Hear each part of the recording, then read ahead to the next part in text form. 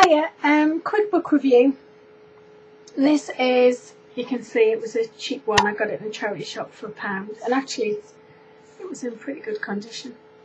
Um, this book is Alone in a Wide, Wide Sea by Michael Morpurgo, who obviously is really a kids, teens writer.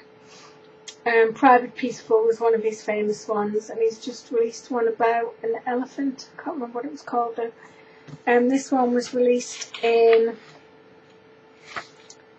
Da, da, da, tell me if I could find a date. 2006. So it's not recent, recent, but it's.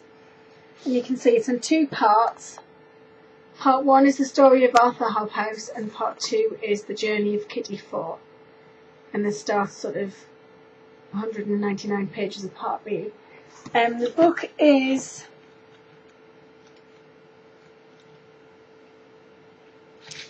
book itself is 306 pages,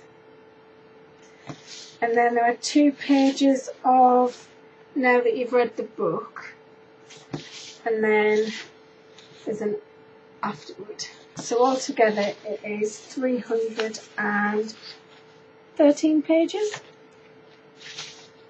And then at the very, very end there's a map, which I guess relates to the story. So um, I'll read the back for you. It says, There were dozens of us on the ship, boys and girls. We were off to Australia, but it might as well have been the moon.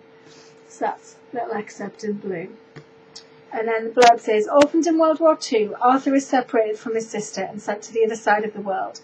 There his extraordinary journey continues as he and his friend Marty survive brutal captivity on a working farm, find a new family with the eccentric Auntie Meg and her animals, and discover their talent for designing yachts. Sixty years later, Arthur's daughter Alice sets sail single-handed in a yacht, designed by her father, determined to find his long-lost sister in England. Can family love stretch across time and the vastness of oceans? And will the threads of Arthur's life finally come together? And the Sunday Times are quoted as saying, Morpurgo does it again. That's the back of the book. I really enjoyed this. I've enjoyed every one of his books that I've read, and I do tend to sort of seek out his books to read with or to children at work. Um, I think he's a really good author. And I love this picture on the cover. It's a little boy sort of looking through the porthole of a boat to the seagull going past and the sea underneath. I think that's fabulous.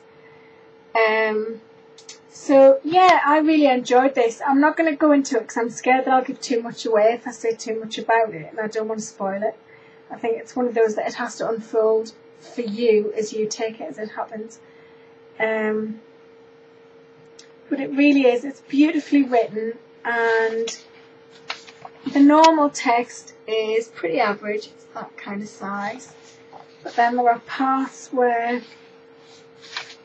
there is can find it. I'll show you what I was going to show you in a minute, but if you see, each chapter doesn't have a chapter number, it has a title, so that one's what goes around and comes around. But each one is like the line of the sea and a little sailing boat at the top, which I think is really cute. Um, there are parts where there are pictures and diagrams in the middle of the book, which actually are quite interesting. And there are parts which are written as letters and diary entries and things where the writing is like that, if you can see. So yeah, I think this is a really good book and I think everybody ought to read Michael Morpurgo books, whether they're a child or an adult. Um, so comment below, let me know what you thought of that if you've read it. And if you've read any other Michael Morpurgos, let me know what you think, because there's bound to be some that you've read that you like that I've not read yet that I would read if you recommend. Try that with my teeth in.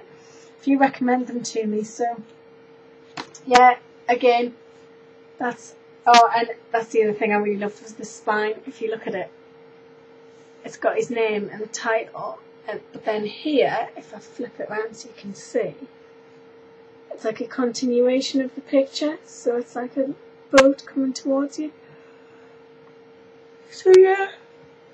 So let me know what you think, and I shall speak to you soon.